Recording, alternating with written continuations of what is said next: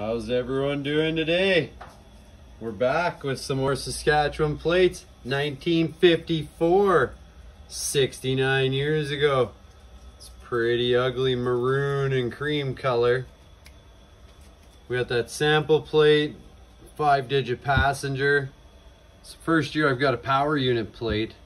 We've seen them for 51, so they are at least that old.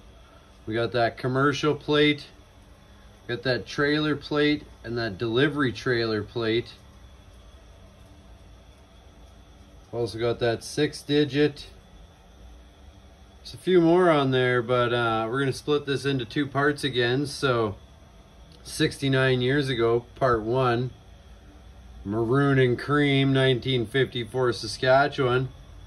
And uh, tomorrow night, we're gonna see the rest of the mix down here. A bunch of Canada, some more Saskatchewan. And we're just gonna keep going. As many as you can handle. What do you guys think about that one? Like, share, comment. Tell me what you think of the videos. I'll keep making them.